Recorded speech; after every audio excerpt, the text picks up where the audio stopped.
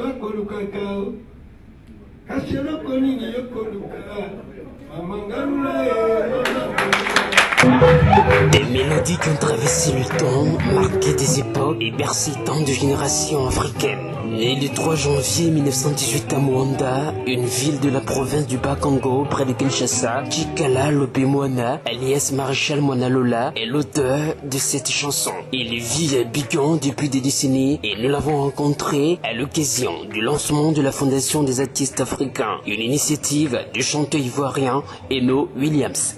Artistiquement parlant, traversent les mêmes périodes, traversent les mêmes problèmes, c'est-à-dire l'instabilité, si vous voulez, des revenus, à travers cette pathologie, la piraterie, qui empêche aujourd'hui les gens de vivre décemment de leur art. Malgré l'effort des gouvernants, il fallait que les artistes eux-mêmes prennent l'initiative en créant un grand mouvement d'entraide et de solidarité. Afin que les artistes aujourd'hui ne meurent pas comme ça. Les artistes, composantes de la société civile, sont des acteurs et leaders d'opinion. Ce sont des éveilleurs de conscience permanents par leur popularité, des vecteurs de l'image de leurs pays respectifs. Les artistes africains rencontrent généralement les mêmes difficultés. Elles se résument aux préjudices causés par la piraterie, l'instabilité des revenus, la faiblesse de leur rémunération. Par conséquent, le manque de promoteurs, l'impossibilité de perception des droits d'auteur par les artistes, surtout en cessation d'activité, constituent un réel problème. L'initiative fait des émules auprès des artistes. Souvent on est malade, c'est pas vraiment facile de rencontrer, aller voir le ministre ou bien toujours se mettre sur le net. Ça n'honore pas la Côte d'Ivoire. On construit pas un coup de milliards pendant que les gens meurent de faim. Vous voyez quoi? Donc il faut que vous insistez dessus pour faire des émissions dessus pour que les artistes ils arrêtent de, de se mettre dans les journaux et sur le net pour pleurer. Après Abidjan, les initiateurs de ce fonds de solidarité comptent y quelques capitales africaines pour promouvoir cet instrument qui leur donnera des outils en vue de mieux gérer leur carrière et profiter d'une retraite dorée.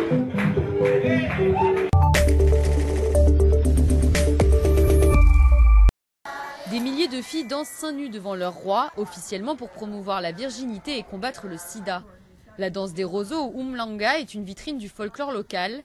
Cette cérémonie est censée encourager les jeunes filles à rester chastes, où 26% des habitants du Swaziland entre 15 et 49 ans vivent avec le VIH selon ONU-SIDA.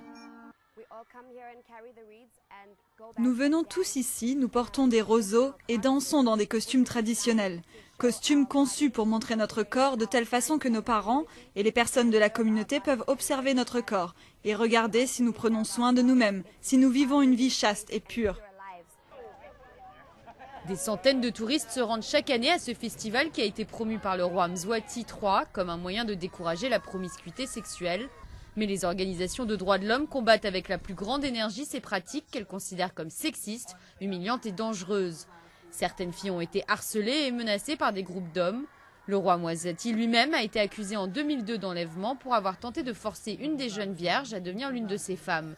Le roi polygame a aujourd'hui officiellement 14 épouses.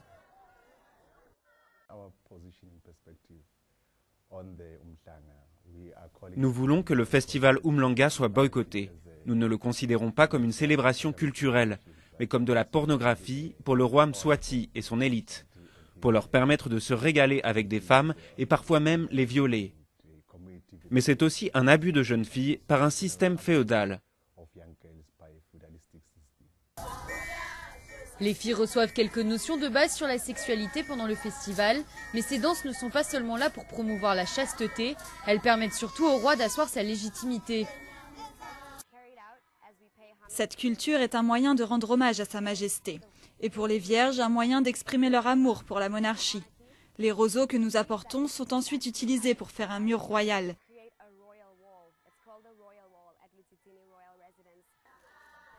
Le roi Mzwati a promis d'éradiquer le virus du sida d'ici 2022 pour faire du Swaziland le premier pays au monde à réussir.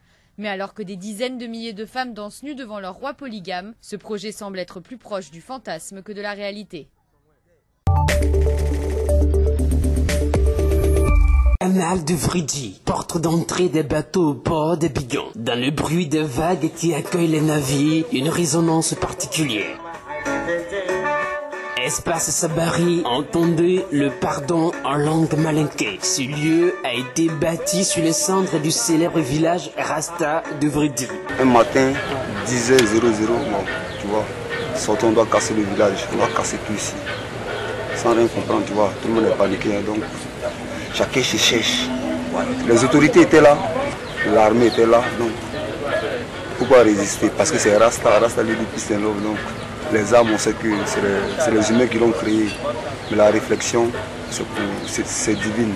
Résultat, l'endroit attire du monde chaque week-end. Si nous sommes ouverts à tout le monde, on aime ceux qui viennent, qui ont envie de travailler, ceux qui sont les artistes, les artistes qui font de la sculpture, qui font de la peinture, Ici, ils viennent exposer librement. Le mode de vie tourne autour de la philosophie Rasta.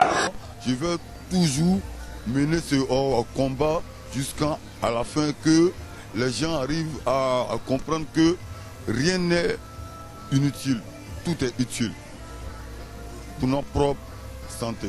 Certains l'ont compris depuis et essaient de monnayer leur talent. On se débrouille euh, de ce que l'artisanat nous fait entrer comme euh, argent pour pouvoir joindre les deux bouts.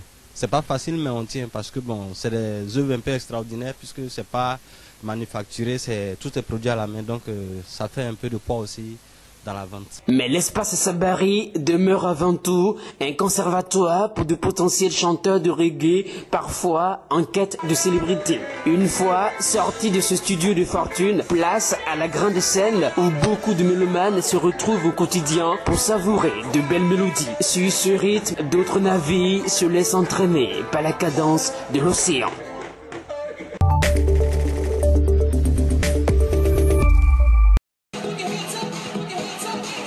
Samedi soir à Karachi. Il est tard et la fête bat son plein dans la plus grande ville du Pakistan. Dans ce pays musulman où l'alcool est interdit, ce genre d'événement est rare et gardé secret. Mais ça n'a pas toujours été comme ça. Retour à l'hôtel Métropole, centre névralgique des folles nuits de Karachi dans les années 50, 60 et 70. Là-bas, il y avait un bar, un pub. Tout est démoli maintenant. C'est ici que les fêtards se donnaient rendez-vous. Les gens venaient passer un bon moment. C'est comme partout dans le monde, le week-end on a envie d'en profiter, de se détendre, boire un verre peut-être, être sur la piste, danser. À l'époque, pas de talibans ni de menaces terroristes. Les musiciens internationaux se succèdent et l'alcool coule à flot ici et dans les nombreuses autres boîtes de nuit de la ville. Léon Menezes faisait partie d'un des groupes locaux jouant régulièrement à l'hôtel Métropole. On commençait par chauffer la salle. Et ensuite, on enchaînait avec des morceaux plus populaires, plus forts, avec plus de percussions. Les gens hurlaient, ils criaient. Et puis ensuite, on terminait avec des morceaux plus doux, parce qu'il fallait mettre l'ambiance pour ceux qui avaient des projets plus romantiques. Mais les choses commencent à changer en 1977, lorsque le Premier ministre Zulfikar Ali Bhutto cède à la pression des islamistes et bannit l'alcool. Depuis, pour faire la fête, une seule solution, se cacher. Pas d'invitation publique ni d'annonce sur les réseaux sociaux, Akil et son groupe perpétuent la tradition dans une résidence privée.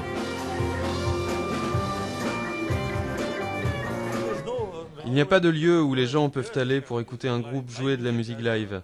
Les concerts ont une énergie à part. Alors nos amis qui ont grandi en faisant la fête adorent ça, ça leur rappelle des souvenirs. Ces amoureux de la musique resteront jusqu'à l'aube pour trinquer en secret à la santé de Karachi, la fêtarde.